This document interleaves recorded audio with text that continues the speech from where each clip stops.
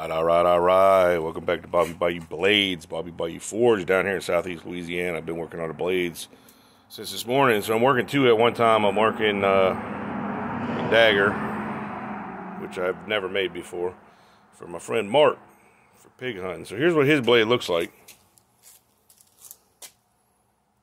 I have it roughed out. There you go. Better look at it this way with a background. Uh, I did put it in the acid just to see. This is 42 layered Damascus. Uh, once it's polished up, it is going to be wicked. Uh, 7 inch blade. It's going to have a 5 inch handle. There you go. And uh, it is just going to be pure D awesomeness. Uh, kind of read how to do a four blade, four edge grind on it.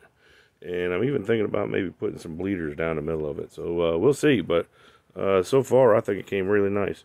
Uh, Got to do some work on the handle, even it out, and then uh, get her in a heat treat. So um, we'll be working on this one and uh, see how it comes along. Y'all keep watching my videos. Uh, tell all your friends, like and subscribe. My views are going up. My subscriptions are going up. So uh, make me famous for 2023.